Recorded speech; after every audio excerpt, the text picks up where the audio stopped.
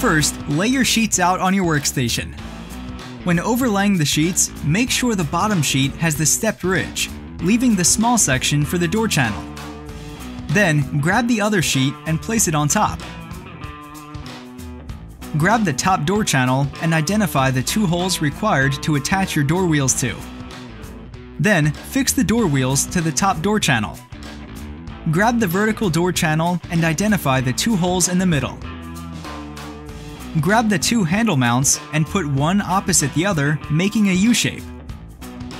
Fit the handle mounts under the door channel, identify the two pilot holes, and then fasten the handle mounts to the door channel. Now attach the top door channel over the end of the door sheets. Then grab the vertical door channel and attach it over the side sheet. Make sure you put the corner of the door channel underneath the top channel. Drill one screw through the pilot hole in the corner of the top channel. Then repeat the same process with the other side channel and the bottom channel, drilling in all the corner holes. Then screw the door plates into the wall sheets. Flip the door over and put screws into the remaining corner holes and in the holes along the top and bottom channels.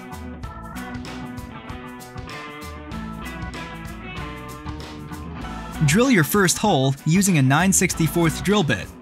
Then use the 1532 drill bit to drill through the hole. Now flip the door back over. Then, using the hole from the door handle as your marker and finding a spot on where the wall sheets overlap, use your 9 64th drill bit to make a hole. Now, grab your rivet gun and rivets and fasten the sheets together.